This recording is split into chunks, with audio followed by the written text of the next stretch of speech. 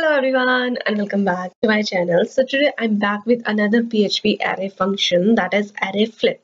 So what basically array flip does is that keys from array will become values and values from array will become keys. So now let me show you in code write array flip and you can see only one parameter is needed that is array. So write array before that write f array equals to array. And in array let me create let's say color array black blue white. Now pass this array in array flip and let me just print_r f array as well. Right before that let's say echo pre. And add one br in between both array. Let me print array flip as well. Now let's check in browser.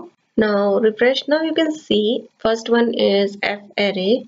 So it's a basically index array. So it's having keys 0 1 2 and values as black blue and white. Now we can see second is array flip. So now blue black and white is key and value is 0 1 2 now let me convert this to an uh, associative array. So let me give keys let's say abc i'm giving.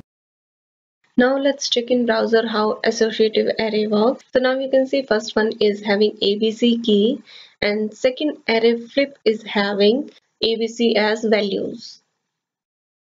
Now let me write same color for two elements. Let's say black for a and c now if I'll refresh, now you can see first array is having three elements but array flip is having only two elements as one array cannot have two same keys. So that's why only black is giving with C value.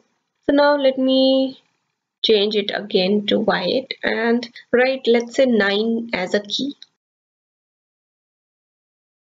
Now if I'll refresh now you can see it's taking three elements so you can see it's taking 9 as value.